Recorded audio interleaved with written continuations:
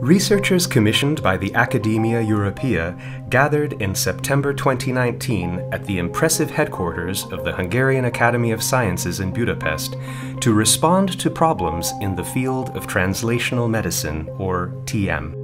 TM seeks to bring findings from basic and clinical research, indeed, from a wide range of research findings, to patient care as quickly as possible. This figure illustrates the main areas of TM and the way the TM cycle is implemented. Questions raised in healthcare can only be answered in multidisciplinary working groups and published for colleagues, laypeople, decision makers, and our partners in industry so that these answers are turned into practice that facilitates patient care. Since the 2000s, the TM approach has developed a great deal, but various problems have also emerged which slow the spread of the process. For example, the problem of defining TM, of financing the various programs, and of the lack of TM centers, as well as communication problems between the various levels.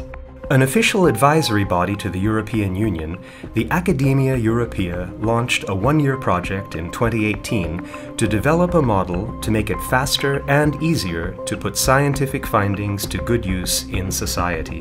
One of the biggest center for translational medicine is in Hungary at the University of Pécs and we are really very proud that the Academia of Europaea uh, gave us the, the, the, leadership in these projects to put everything together. The model was developed by researchers in basic and clinical science, media specialists, university leaders, heads of TM centers, and others.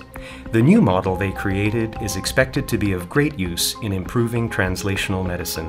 The whole aim of the project is to shorten the time between discoveries and treatment of patients.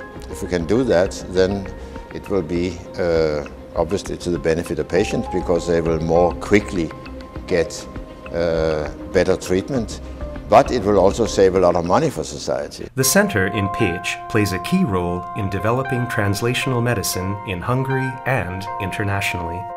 I think the main thing now is not so much to change that, because that is a good model. It's similar to other ones with nurses and statisticians and doctors, technicians in it, but to make sure it's properly funded because this needs funding. It, you cannot have busy clinicians trying to run all of this as well as delivering a clinical service.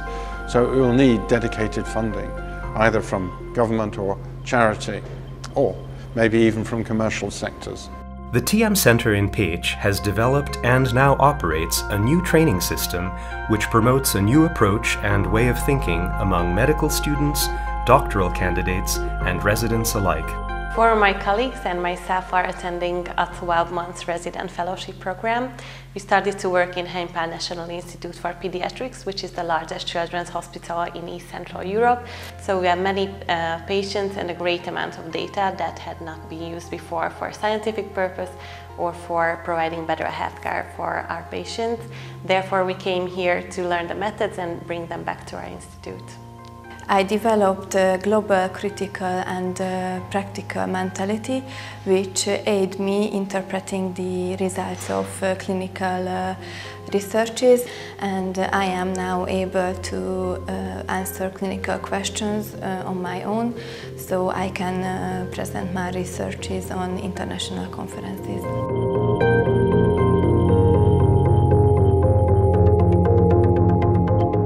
The exact definition may be less important, but translational medicine literally means to translate knowledge into real benefits for patients. That's what the translation means.